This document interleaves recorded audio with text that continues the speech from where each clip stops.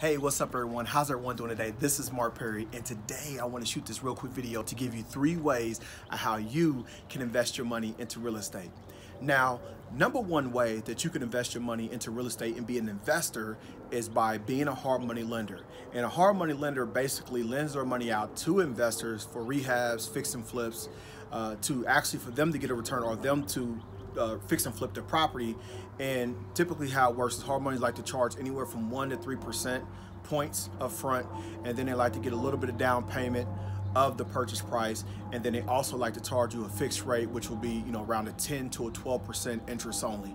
And how you can make cash flow through this, because let's say if a person gets a fix and flip, and let's say, you know, their holding cost is going to be for six months. So in six months, you can make cash flow in six months and then when they resell it you're going to get your principal back and then you also can make a little percentage on the back end once they sell as well. So it's kind of like you get money up front which will be the down payment. You'll get cash flow as they hold on to the property for six months and then when they sell it you'll get a little bit of percentage on the back end as well. So that's the number one way that you could be an investor into real estate.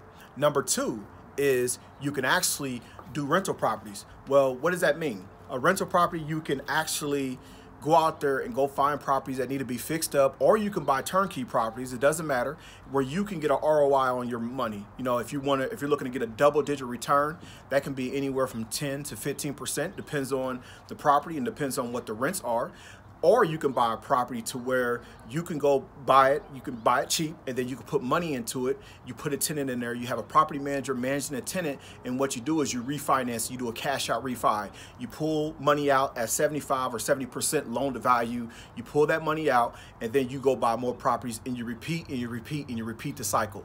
So that's the other way that you actually can invest your money into rental properties. The third thing what you can do is be a passive investor through commercial real estate, which will be apartment buildings or mobile home parks. How does this work? So basically, you'll just be a silent partner. So basically, you got $100,000, $150,000, and you want to invest with somebody that's a good operator that has a great track record that can perform these these uh, multifamily apartment buildings. And you can be a passive investor by getting a return on your money, you know, anywhere from a nine to a 12% cash on cash. And you'll also get a little bit of the upside once the property sells in you know five or ten years. So basically how it works is let's say if you invest your money and you're going to get a 10% preferred rate and then we're going to refinance it and then we're going to we're going to pull all your money back to you and then we're also going to give you an extra 10% on top of that and then you're also going to have 10% into the building once it sells. So that's another way that you actually can invest as a passive investor into apartment buildings. So keep in mind the three things that I shared with you there shouldn't be no benefit of a doubt that you shouldn't be able to go somewhere and go park your money and go get a return on your money. If your money's in the stock market, if it's not making a return, you can always park your money in the real estate if you got individuals that you know that has a good track record, you have relationships with them because remember this is a relationship business. You want to have a relationship with those individuals, somebody that has a great track record and somebody somebody that can uh, that you can hold accountable that can do these deals uh, with or without you being there. So that was the day's topic. So I just shared with you my friends three ways how you can invest your money into real estate and get a return on your money. So I hope that that video helps. And if you haven't already, please like and subscribe to my YouTube channel. I'm gonna be sharing more and great content with you in further videos. Well, that's all I got for today. And I'll see you guys on the other side. Thanks.